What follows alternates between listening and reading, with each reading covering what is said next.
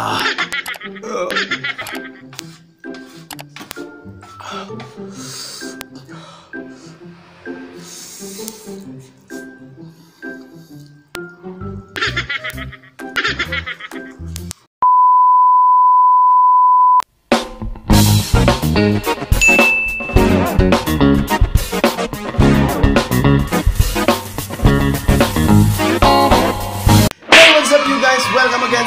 Channel. So, yun na nga guys, may panibago naman tayong video na gagawin. So, kung nakikita nyo naman sa aking harapan na magmumukbang na naman tayo. Eh. So, yun na nga guys, no, ah matagal na tong ginagawa ng iba. So, ngayon ko lang ginawa sa aking channel dahil nga, ngayon, ngayon ko lang naisip. So, so yun guys, at sisimulan na natin and kada subo natin is meron tayong sasagutan na tanungan ng mga organic viewers natin. Shoutout nga pala dyan sa Vlogger Philippines and maraming maraming salamat at nagkaroon ako ng opportunity na ma- maka-join sa inyo. Siyempre, di ba? Napakasaya natin yan and road to 50,000 members na tayo and napakasarap lang na maging membro sa inyong sa inyong community guys. Simulan na natin at sasagutan na natin yung mga katanungan nila na hindi natin ni-review or hindi natin mga random questions siya na hindi natin ni-review guys. So yun guys. Siyempre ilalagay natin yung pangmalakasan, di ba? Bali ano siya, dalawang noodles guys. Samyang challenge to, samyang challenge. Pero pinagkaiba lang is may sasagutan tayo ng mga questions sa kanila. So, ito pang iniintay natin. Let's go. So dahil tinatamad na ako bumaba at lalagyan na lang, kakamayin na lang natin, di ba guys? Oh, di ba? So ako kasi guys, gusto kong subukan yung times 3 pero hindi ko muna sinubukan ngayon dahil baka hindi rin natin kayanin, di ba? So, baka mapahiya ako sa inyo, di ba? Nakakaya naman. Oh, disclaimer lang guys, pasensya nyo na kung meron kayong extra sound na naririnig dahil lagi kong sinasabi sa aking mga vlog na nandito ako sa tabi ng highway although yung likod ko is highway na so parang seryoso lang. So, ayun guys. And, ayun. Ito na ilalagay natin. Dapat tayo bumaba guys, hindi na natin kailangan ng gusto. Ang anghang, oh. Oh. Grabe! Hindi ko alam kung kakayanin ko to guys. Itong samyang na to guys, ito yung color black. Hindi ko alam kung ano yung pinagkaiba ng times 1, times 2, times 3 but yung nabili ko lang is yung color blocks and yeah, susubukan natin. Hindi naman tayo, kailangan challenge natin yung sarili natin, di ba? At sana naman, makayanan natin kasi pag hindi natin ito nakayanan, mapapahiya ako sa inyo, di ba? so, ayun guys. Ito na siya. And of course, hindi lang ito yun guys. Ah, bali-bali yung katandem niya is yung ating, syempre, yung itlog. Guys, bali nagluto ako ng dalawa. Diba? Yan. So, ito yung itlog natin. Ayan, nadurog na. ito yung itlog natin, guys. Ayan. Bawat subo natin, guys, is sasagutin natin yung mga question ng mga kabifi natin. Then, and meron tayong Vitamilk. So, baka naman, di ba? Hindi pa siya nabuksan. Subukan natin. Subukan natin.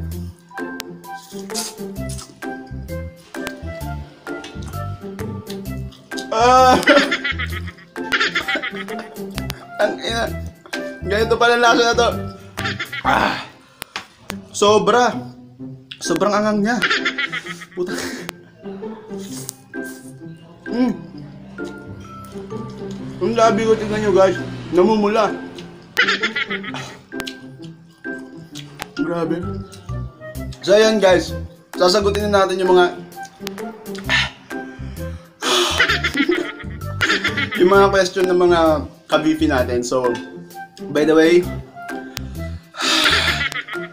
shoutout nga pala sa inyo guys. Shoutout nga pala sa inyo. Sa lahat ng member ng uh, Vlogger Philippines, shoutout sa inyo.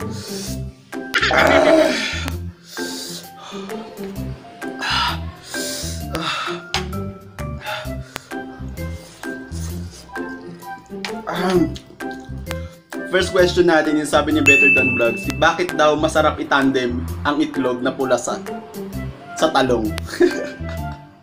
di ba yung mga tanungan nila, di ba? Yung pa lang guys. So bakit nga ba? Paano ba? Kasi masarap? Just comment down below guys kung alam niyo yung sagot.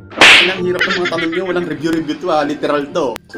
Kasi nakasanayan natin, kasi Pilipino tayo, yun lang. Yun lang guys, yun lang yung sagot ko kasi nakasanayan natin na yung partner lagi yung talong tsaka yung itlog na maalat dahil yung panlasang Pinoy is ah yun yung nakasanayan natin simula nung di ba, sa probinsya, yun lagi yung nakasanayan natin kainin. So, yun lang, that's it.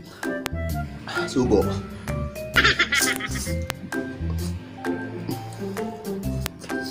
Ah. Next. Next, guys. Uh, kay Jackie Tatel. Ah, tang ina, grabe naman ang tanong to. Have you ever accidentally kissed a guy in public? Siyempre hindi, di ba? Maingat tayo eh. Dahil hindi pwede mangyari yun. Dahil nakakausap natin si Purba. Joke lang. Subo muna tayo guys. Tangina, ang hirap na na ito.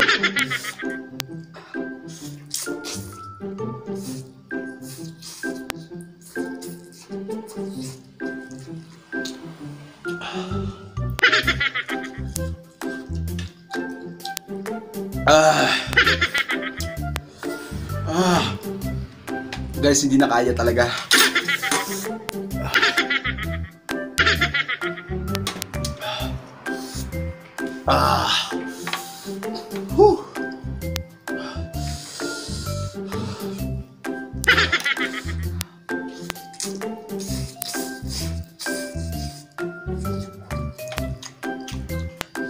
So, next natin is kay Bansanity TV. Shoutout sa'yo, Bansanity TV.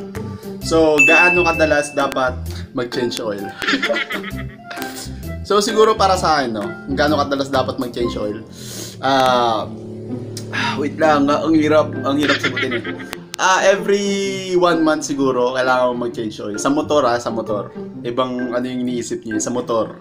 So, every one month kailangan mag-change oil kasi para mas maganda yung takbo ng ating makina, ng motor natin, and kailangan ma- ma-maintenance natin. Yun, yun ang sagot ko. Ruby and Loy B, shoutout sa'yo. Ah, anong mas Mas masarap ikaw at ako. ikaw o ako? Eh, tinatanong pa ba yan? Hindi na kailangan tanongin yan. Pero subo muna tayo bago ko sagutin. Hindi ko na talaga kaya guys. Baka pwede, substitute naman dyan oh. Viewers natin.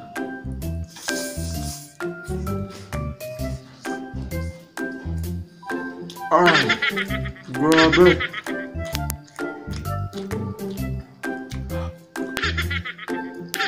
Hindi ko. Next question natin is Shoutout sa'yo, Queenie Kalisag. Bakit, ano, bakit bilog ang lemon square at cheesecake? Bakit nga ba? Just comment down below kung bakit nga ba bilog ang lemon square at cheesecake. Comment nyo lang sa baba. Pero para sa akin siguro is, ah, kaya siguro bilog yung lemon square. Kasi bilog. Ah, nakadepe, ano ba? Ang ina, paano ba natin sasagutin 'yon? Kasi ang hirap sumagot na may, may, may anghang sa bunganga mo. ah, paano ko ba sasagutin 'yon? Ang hirap ng mga tanong niya eh. Mga, mga ano talaga eh. Kasi, yun yung produkto nila eh. Para magkaroon sila ng marketing strategy na, wow, tangina, wow. Siguro yun yung strategy nila.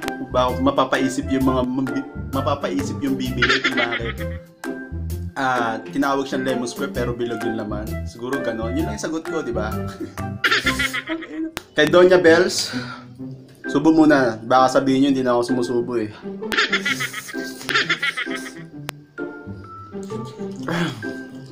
Kay Donya Bells, bakit asukal na pula ang Tagalog? Bakit? Wait, paulit.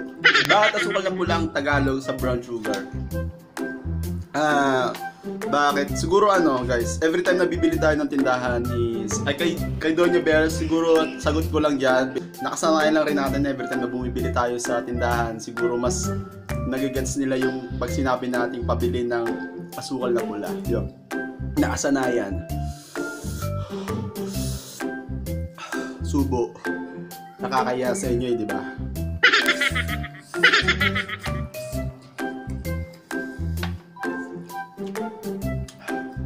Grabe. And kay special mention kay Chris De Hernandez. Thank you sa support. And totoo, ito yung tanong niya, totoo ba na ang manok na kinatay sa Jollibee ay masaya? Kaya siya tinawag na Chicken Joy. Kaya siya tinawag na Chicken Joy. Pinapahirapan mo ako, Christy. Chrissy Hernandez, shoutout sa'yo. So kaya siguro na tinawag na Jollibee, na Chicken Joy yung, yung manok sa Jollibee. Siguro para ma-inspired yung bibili. Siguro yung manok sa Jollibee kaya Chicken Joy kasi lahat ng pumupunta doon, yung sinasa... Paano ba? Kasi ano, kasi dahil para yung once na bibili yung isang taong broken, di ba? Kahit man lang dun sa bibili niyang pagkain is Chicken Joy kasi para maging masaya siya. Tama ba? Ay, mga sagot ko nila, di ba? Titibay. Basta yun, Chris Hernandez, na pinapahirapan mo, pinapahirapan mo eh. Pero thank you. Thank you sa support. Shout- Shoutout sa iyo, Chris Hernandez. Basta yun, yung sagot ko. Kasi para maging masaya yung bibili ng manok kahit na sila ay malungkot. Di ba? Yun naman ang ano ng, ano, ng Jollibee. Kailangan mo maging masaya. Pero wag ka lang maging bida-bida. so, subo.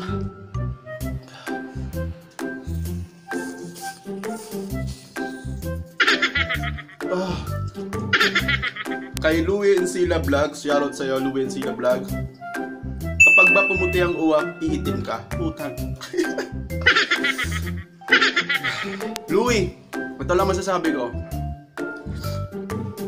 Kahit na hindi pumuti yung uwak, sadya naman na may itim na tayo. sadya naman may itim na tayo, yun ang kasagutan ko. Kahit na hindi na pumuti yung uwak. Kay Jetong TV, wow, shoutout sa'yo Jetong TV. Bakit narurumihan ng tuwalya kung malinis naman tayo pagkatapos maligo? Ewan ko nga ba, bakit nga ba no? Katatapos natin maligo tapos ang dumi rin ng tuwalya. Ang dumi pa rin ng tuwalya, bakit nga ba? Kung gusto niyo sumagot, comment na kayo down below. Bakit nga ba no? Kasi yung mga tirang sabon, yung kumakapit na sabon sa katawan natin, ah, bali doon na iiwan tapos pag sa pinunasan natin ng tuwalya, Ayun guys, doon kumakapit sa tuwalya yung mga tirang sabon natin sa katawan. 'Di ba? Yun lang, yun ang sagot ko. ha. Ang hang. And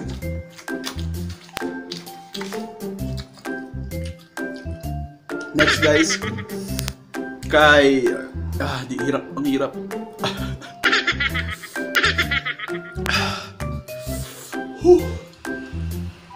Kay Don Harry. Ano ang pina, ano ang pinakasinungaling na salitang sinasabi mo? Pinakasalitang nasabi ko. Ah, yung pinakasinungaling na salitang sinabi ko is Okay lang ako.